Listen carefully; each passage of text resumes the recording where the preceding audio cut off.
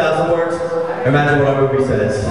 We got a little different thing in there for you.